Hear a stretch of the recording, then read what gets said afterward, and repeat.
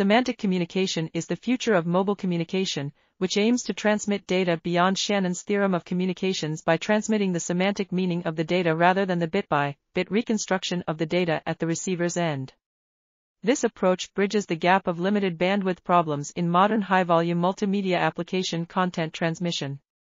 By integrating AI technologies with 6G communications networks, a semantic communication-based end-to-end image transmission system has been developed. The system uses a pre-trained GAN network at the receiver to reconstruct the realistic image from the semantic segmented image at the receiver input. The encoder and decoder are trained on a common knowledge base, the CocoStuff dataset. The research shows that the resource gain in the form of bandwidth saving is immense when transmitting the semantic segmentation map through the physical channel instead of the ground truth image in contrast to conventional communication systems.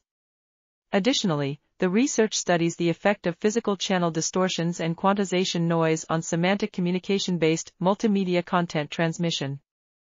This article was authored by Maheshi U. Lokumarambage, Vishnu Sai Sankeerth Gowrisetty, Hossein Rezaei, and others.